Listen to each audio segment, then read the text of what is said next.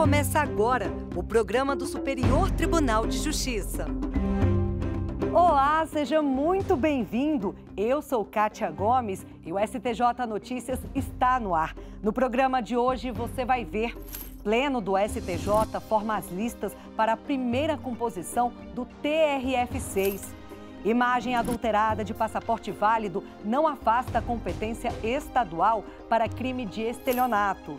E mais, Jockey Clube de São Paulo deve indenizar restaurante por impedir que reabrisse na pandemia. O STJ Notícias começa agora.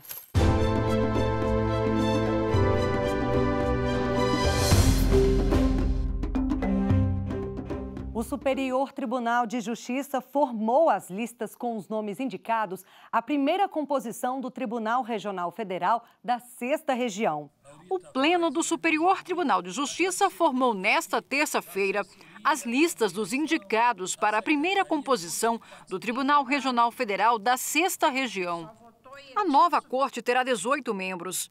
Uma das vagas será ocupada pela desembargadora Mônica Cifuentes, a única magistrada que optou pela remoção do TRF1 para o novo tribunal. Sete juízes de carreira da Justiça Federal da Primeira Região foram indicados à promoção por antiguidade para igual número de vagas. Para a escolha dos seis juízes que serão promovidos por merecimento, foi formada uma lista com oito candidatos, também da Justiça Federal da Primeira Região. Para as duas vagas reservadas a advogados e para as duas destinadas a membros do Ministério Público, foram formadas listas tríplices, uma para cada vaga. O TRF6 terá jurisdição em Minas Gerais e sede em Belo Horizonte.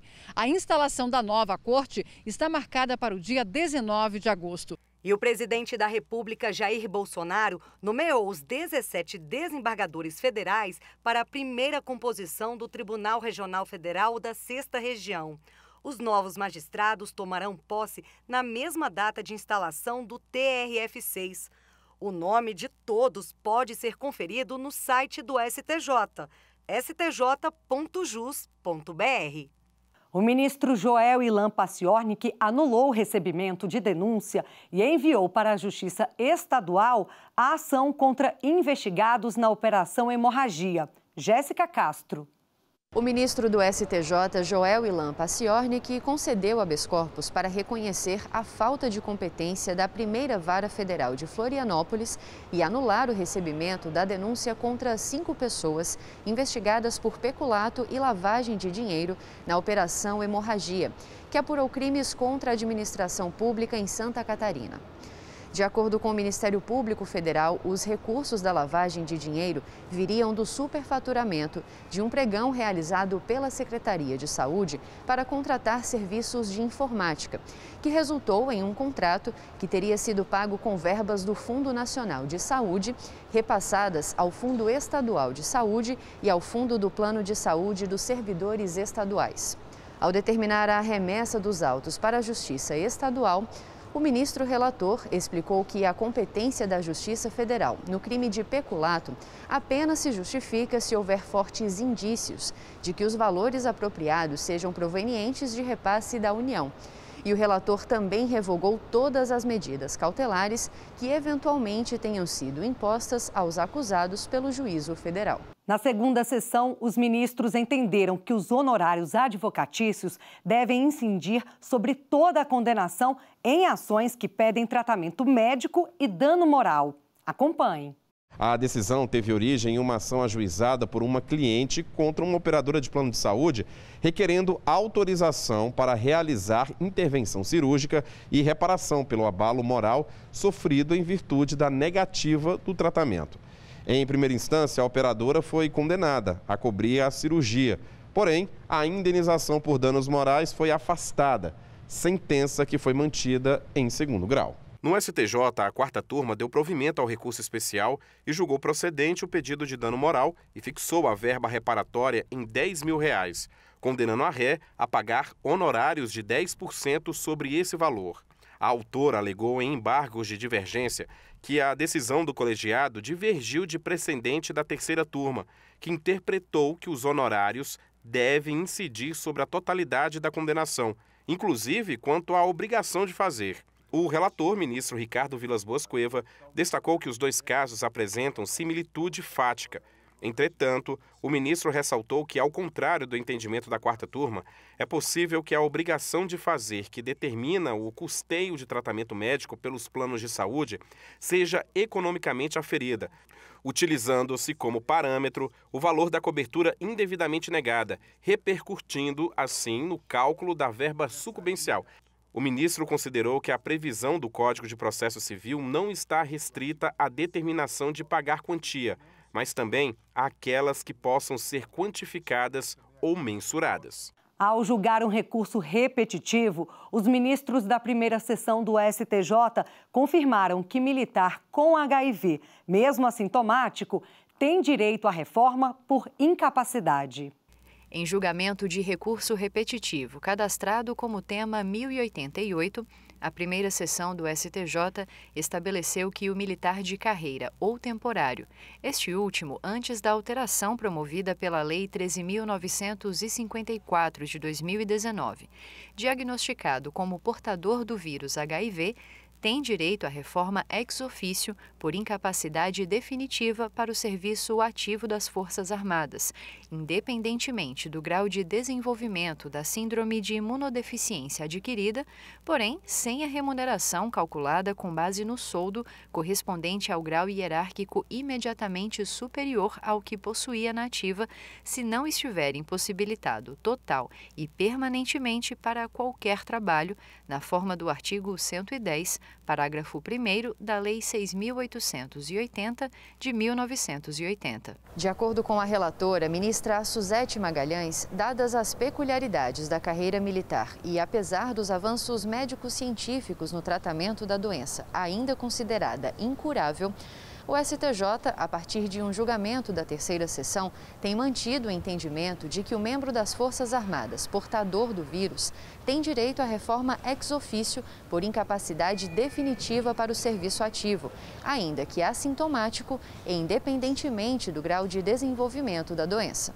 Por maioria, o colegiado acompanhou a relatora, ministra Suzete Magalhães, para quem não é necessária a modulação dos efeitos no repetitivo, uma vez que o direito à saúde, assegurado constitucionalmente, resta resguardado na reafirmação do posicionamento anterior do STJ, ao conceder a reforma ao militar diagnosticado com vírus HIV, ainda que assintomático, por incapacidade definitiva para o serviço ativo das Forças Armadas, mas com remuneração calculada com base no soldo percebido na ativa.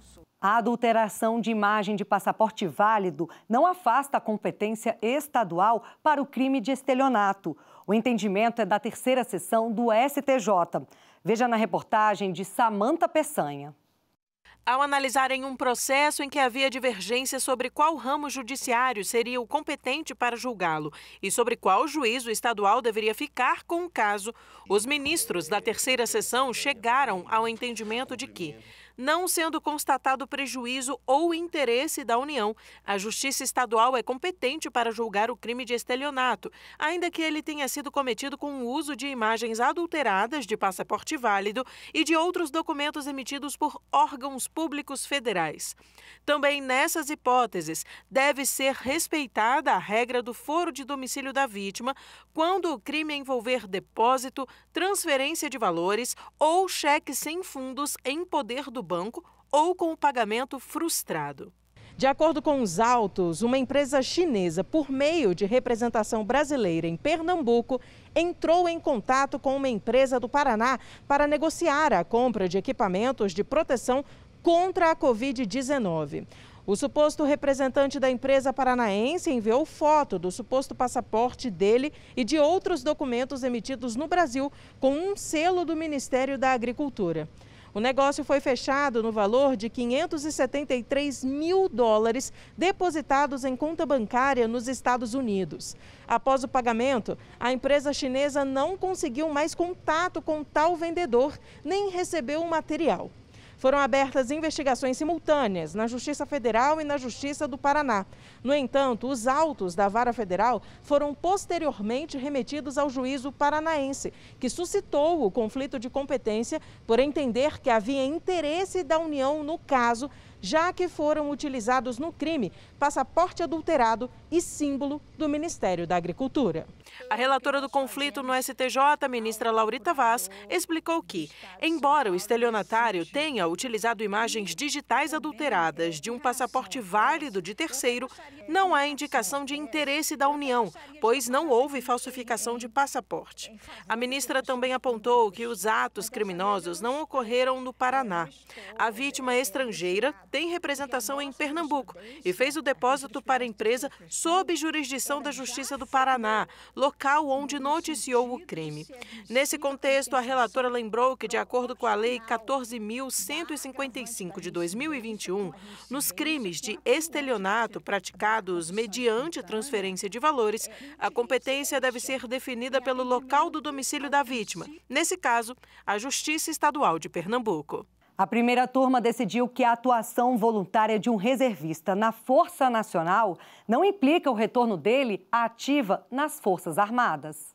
No caso analisado, o reservista que atuou no Exército na condição de voluntário prestou serviços à Força Nacional de 2017 a 2019, recebendo verbas indenizatórias previstas em edital.